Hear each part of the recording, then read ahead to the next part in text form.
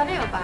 Jurusannya dulu sistem informasi, Sekarang bagian apa? sekarang kerjanya jadi product designer. Oke, terima kasih. Oke. Dulu jurusannya apa? teknik kimia Sekarang kerjanya ngapain? di change management Dulu jurusannya apa? Saya dulu akuntansi. Sekarang bagian apa?